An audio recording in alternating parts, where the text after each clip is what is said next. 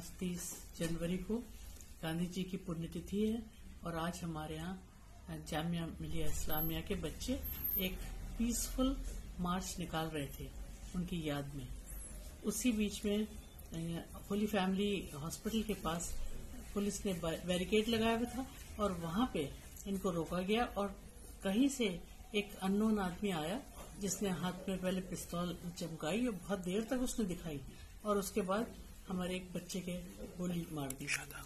شاداب فاروق کے گولی لگی ہے، بٹ میں خدا کا شکر بھیجتی ہوں کہ وہ اس کے ہاتھ میں لگی اور کہیں اور وائٹل آرگن پہ نہیں لگی۔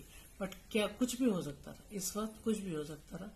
میں بہت پراؤڈ ہوں کہ ہمارے بچوں نے جو صبر دکھایا ہے اور جس سمجھداری سے انہوں نے یہ وقت گزارا ہے اور بنا کسی ریٹیلیشن کے، جو کہ ہماری یونیورسٹی کا میں ہم ان کو یہی سکھاتے ہیں کہ چیزوں کو برداشت کرو اور غلط، جس طرح سے اس وقت رکے ہیں وہ لوگ۔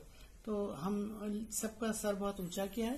مجھے بہت افسوس ہے کہ یہ آج کی یہ سچویشن آئی اور میں شادہ اور اس کے پیرنٹس کو یہ بتانا چاہتی ہوں کہ ہماری ذمہ داری ہے اس بچے کو دیکھنا۔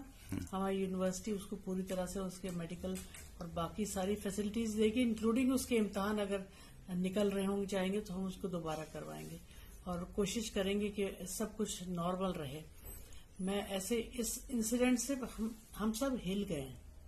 کیونکہ ایسا کبھی نہیں ہو سکتا کہ پولیس کے سامنے ایک آدمی اتنا پسٹل دکھاتا پھرے اور اس کو کوئی روک نہ سکے۔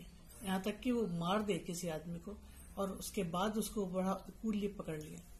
تو اس لیے یہ چیز ہمارا بھروسہ تھوڑا سا ہلا رہی ہے۔ اور میں ایسی آشا کرتی ہوں کہ اب یہ ایسا کوئی انسیڈنٹ دوبارہ کبھی نہیں ہوگا ہمارے لوگوں کے ساتھ۔ ہم سب کوشش ہیں اس کے لیے، مگر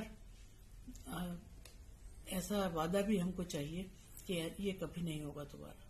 ایسا ان لوگوں سے جو میٹر کرتے ہیں۔